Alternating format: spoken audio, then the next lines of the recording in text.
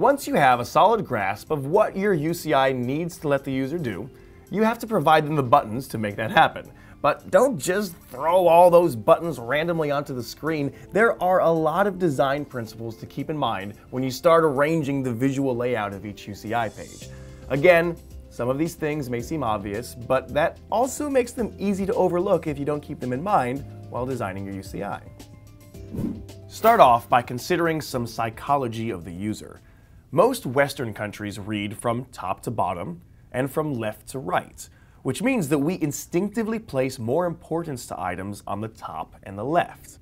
If you're creating page navigation buttons, for instance, then the most important pages should be at the top or the left, with less important pages following. That same reading psychology tells us that we can turn to the next page when we're done, which is why the bottom right corner is a natural place for a next button that advances to the next UCI page. These aren't rules, of course. You can lay out your UCI any way you wish. But if it's built counterintuitively, then your users may take a while to educate themselves when trying to navigate. Probably the most important thing to consider is consistency. Once you pick a navigation method, you should keep that style throughout the whole UCI. You wouldn't want to have a horizontal navigation menu on one page and a vertical one on another, or for the pages to randomly change their order or size. Keeping consistent rules within your design gives the user the best chance at navigating it successfully. Importance isn't limited to page navigation, of course. There are a lot of ways to denote the importance of an action. Think of our audio player again. There are a lot of buttons you might push, but the play button is probably the most important one.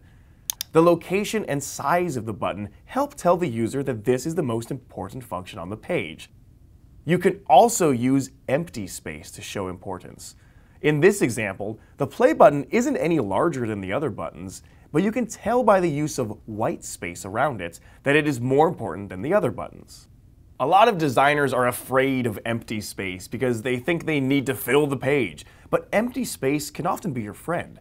It divides objects that are not alike, it shows importance, and it helps keep your design simple and easy to understand. Once again, finding a consistent style is important. If you teach the user that an important button looks like this on one page, you should probably keep that aesthetic for other important buttons on other pages.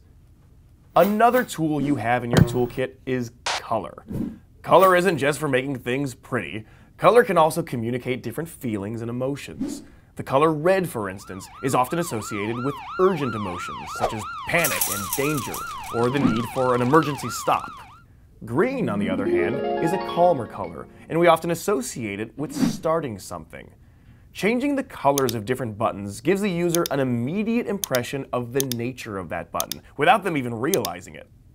Along the same lines, if your entire UCI is red, then you may be stressing your user out.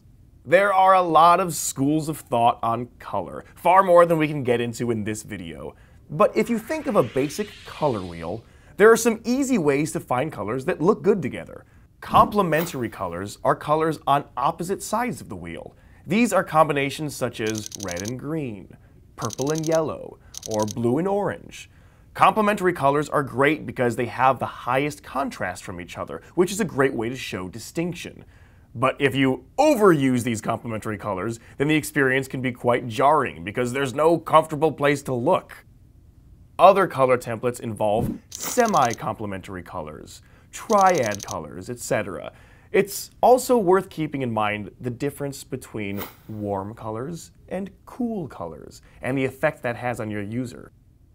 Of course, when you start thinking about color, you may want to consider the official colors of the business that you're designing for. If their logo is cornflower blue, then you may want to use cornflower blue as a main color in the UCI. Most larger companies will also have a style guide that specify the colors they use as well as rules they apply for the use of their logo, which you should likely keep in mind before you accidentally pair their logo with their competitor's color. Of course, you shouldn't rely entirely on color either. Keep in mind that many people are colorblind, and you wouldn't want to leave them out in the cold. There are actually a number of free colorblind simulators you can find online, where you could upload a screenshot of your UCI to see what it would look like to someone with color blindness. So, color is useful, but shouldn't be your only tool. With that in mind, you may want to consider how different people learn in different ways. Some people learn best by reading, others through imagery, others through spatial association. So if you have the flexibility in your design to appeal to multiple styles, it's worth considering. In Q-SYS, you can add icons to your buttons as well as a label, which may be a good way to satisfy different types of learners. There's one more critical concept to consider when building your UCI, feedback. Uh, no, not audio feedback, we don't want that. I'm talking about a reaction the screen gives you to let you know that you've done something. For some actions, the feedback is obvious. When you touch a button that navigates to another page, the screen changes to that page. Many buttons naturally provide feedback. A toggle button, for instance, will change its color when you press it. A play button will light up as long as its audio player is playing, but other buttons might not give the user the feedback that they want. If you only provide a user with volume bump buttons, for instance, they don't really know where they are in the gain range you may want to provide a meter that gives them feedback. If you allow them to recall a snapshot that changes the settings of controls that aren't on the current UCI page, you may want to give some sort of indication that that snapshot has been engaged. Any visual cue you can provide the user that their action has had an effect will help their confidence level when interacting with the system. Finally, don't forget to test your UCI, and not just yourself, Ask other people to test it for you so you'll get a better sense of how intuitive it is. You may learn a lot by watching someone struggle to navigate your menus or by seeing where they go to perform certain tasks. Try to leave your ego behind and learn from them rather than teach them how you want them to use the system. Give them a task to perform and see if they can figure it out on their own. If they can't, that may be a good sign that your UCI needs a little more work. So don't fall in love with your own design too early. Just because you love it doesn't mean it's useful to someone else. And if you are going to use a graphic designer to add more visual flair to the system, you want to make sure that the UCI is field tested first before you build images that might be harder to change later on. Hopefully this gives you a good basis of things to keep in mind while designing your UCI. The user experience is just as important as the ABC platform is, because all of your work inside the software is useless if nobody can figure out how to use it. Thanks for watching.